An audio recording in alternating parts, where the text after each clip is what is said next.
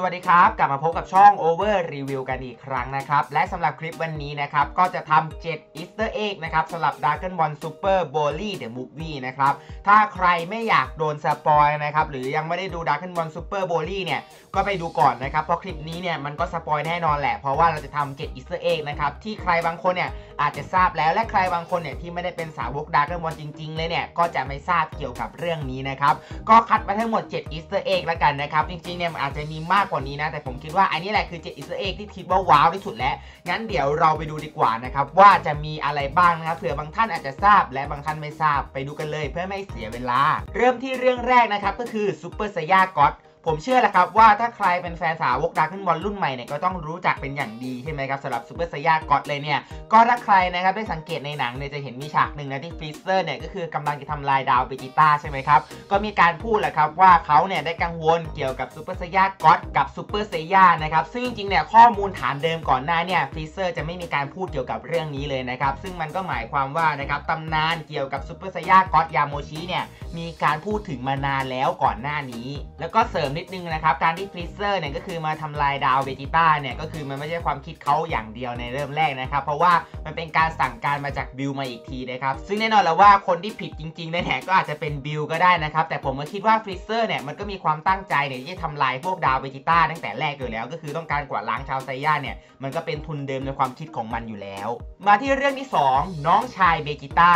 น้องชายเวจิต้านะครับคือใคร น้องชายเวจิต้านะครับถ้าใครได้ดูตอนพิเศษ Dragon Ball ก็จะรู้จักดีนะครับเขาคือทาเบิลนะครับทาเบิลเลยเนี่ยก็คือเป็นน้องชายแท้ๆของเบจิต้านะครับที่ถูกส่งตัวไปอีกดาวหนึ่งเหมือนกันนะครับแล้วก็ถ้าใครได้ดูในตอนพิเศษเนี่ยก็จะเห็นว่าทาเบิลเป็นชาวไซย่าที่ถือว่าไม่ได้มีพลังเยอะแยะอะไรนะครับก็เป็นตัวละครหนึ่งตัวที่เพิ่งเข้ามาอยู่ในจักรวาลหลักแบบเต็มๆสักที ก่อนหน้านี้เนี่ยก็คืออยู่ในตอนพิเศษใช่ไหมครับซึ่งแน่นอนแหละว่ามันก็ยังไม่ได้ยืนยันหรือฟันธงว่าไอ้นั้นน่ะคือจักรวาลหลักใช่ไหมพอตรงเนี้ยมีการพูดถึงใน Movie นะครับซึ่งมันก็หมายความว่าในอนาคตเนี่ยเราจะได้เห็นทาร์เบิลหรือเปล่าในแบบเต็มตัวนะครับแต่ถ้าเราเนี่ยลองย้อนกลับไปนะครับใน Battle of God นะครับมันก็จะมีพูดถึงทาร์เบิลด้วยนะครับที่ว่าทำไมเบจิต้าเนี่ยไม่ขอเบอร์ทาร์เบิลไว้ หรือการติดต่อของทาร์เบิลไว้นะครับตอนที่ว่าจะมาแบบว่ารวมกันเป็นร่าง God ตอนนั้นนะครับมาที่เรื่องที่ 3 การขอพรของ Dragon Ball ครั้งนี้เป็นครั้งที่ 20 พอดี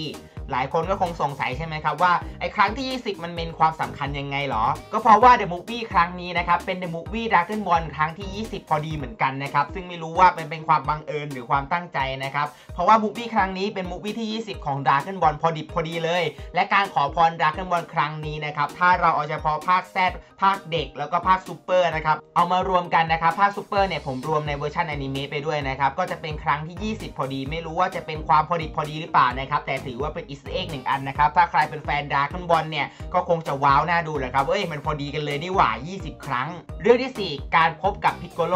ถ้าใครจำกันได้นะครับ การฟิวชันครั้งก่อนเนี่ยพิกโกโลนะครับ ก็เป็นบุคคลสำคัญเลยที่ทำให้ทรังคซ์กับโกเทนนะครับฟิวชั่นกันเป็นโกเทนคส์และก็ฉากที่พิกโกโลถามว่าเนี่ยมีอะไรให้ช่วยไหม แล้วสุดท้ายเนี่ยก็คือไม่ได้ไปช่วยใช่ไหมครับ ซึ่งอันนั้นก็เป็นอีกหนึ่ง Easter Egg เหมือนกัน เพราะถ้าใครดู Dragon Ball มานานจะทราบว่าพิกโกโลเนี่ยมันเริ่มจะประมาทตัวเองแล้วที่คิดว่าตัวเองเนี่ยตอนเนี้ยไม่สามารถสู้คนอื่นที่แข็งแกร่งได้แล้วนะครับ ถ้าใครจำกันได้เนี่ยมันจะเป็นมุกย้อนไปเลย คือก่อนหน้านี้พิกโกโลมาช่วยทีไรนะครับก็จะเดี้ยงตลอดนั่นแหละครับหรือบางทีก็ตายไปอย่างเงี้ยเพราะว่าปกป้องคนอื่นอย่างเงี้ยซึ่งอันนี้นะครับก็จะเป็นมุกที่ค่อนข้างลึกหน่อยนะครับก็นับว่าเป็นหนึ่ง Easter egg ละกัน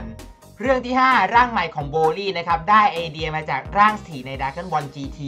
เรื่องนี้นะครับผมได้ทำคลิปไปแล้วแหละครับ แต่ว่าอันนี้ก็นับเป็นหนึ่งใน Easter egg ละกัน เพราะถ้าใครได้ดู Dragon Ball GT จะทราบว่าไอเดียของร่างสีนะครับก็คือการนำลิงยักษ์นะครับมาผสมกับชาวไซย่านะครับจนสามารถกลายเป็นร่างสีได้นะครับซึ่งในโบลี่ภาคนี้เนี่ยโบลี่นะครับก็เอาลิงยักษ์นะครับมาผสมกับตนเองนะครับโดยการที่สามารถควบคุมได้นะครับแต่ว่ามันก็ไม่นับเป็นร่างสีนะครับแต่ถ้าอย่างที่เราเห็นเลยครับว่ามันจะเป็นไอเดียและคอนเซปต์เนี่ยที่ค่อนข้างจะคล้ายกันเลย แต่ถ้าใครจะดูแบบเต็มๆนะครับสามารถไปดูคลิปเก่าผมก็ได้นะครับผมอธิบายเกี่ยวกับเรื่องนี้ไว้อันนั้นจะละเอียดและชัดเจนกว่านี้ อันนี้ก็นับเป็น1 Easter egg เหมือนกันนะครับใน Dragon Ball Super b o l y ครั้งนี้ เรื่องที่ 6 ว่าด้วยเรื่องส่วนสูงของฟรีเซอร์นะครับถ้าใครดูบุ๊กี้ครั้งนี้นะครับว่าด้วยเรื่องเนี่ยก็คือต้นเหตุของความชิบหายต่างๆ ในภาคนี้นะครับก็คือเกิดจากฟรีเซอร์เลยต้องการสูงขึ้นนะครับซึ่งไอ้คำว่าสูงขึ้น5เซนติเมตรของเขาเลยเนี่ยซึ่งจริงแล้วเนี่ยร่างสี่ของเขานะครับเขาสูงแค่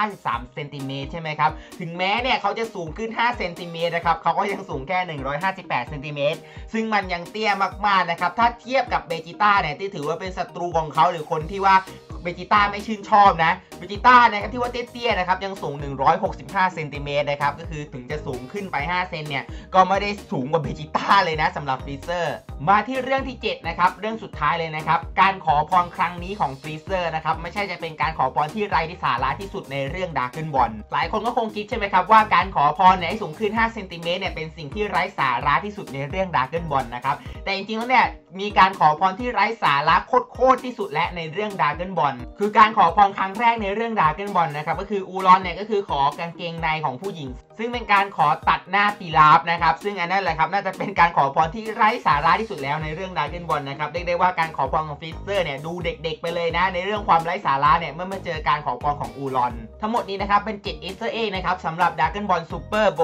ลี่นะครับซึ่งแน่นอนแหละว่าภาคนี้นะครับก็ค่อนข้างปลุกกระแสดาร์กเกิลบอลได้เยอะพอสมควรเลย ถ้าใครนะครับยังไม่ได้ไปดูนะครับ และคิดที่อยากจะไปดูนะครับ ก็ไปดูซะนะครับสำหรับภาคนี้ถือว่าเป็นภาคที่ผมว่าดีที่สุดแล้ว เท่าที่ดราก้อนบอลเคยทำมาเลยเพราะว่ามันจะครบเครื่องทุกอย่างเลยนะครับ ก็ฝากไว้ด้วยแล้วกันถ้าใครชอบคลิปนี้นะครับ กดไลค์กด Subscribe กดกระดิ่ง เพื่อแจ้งเตือนคลิปใหม่ๆของคุณนะครับอยากให้ทำคลิปอะไรคอมเมนต์มาข้างล่างนี้ได้เลยสำหรับวันนี้ก็ขอขอบคุณครับ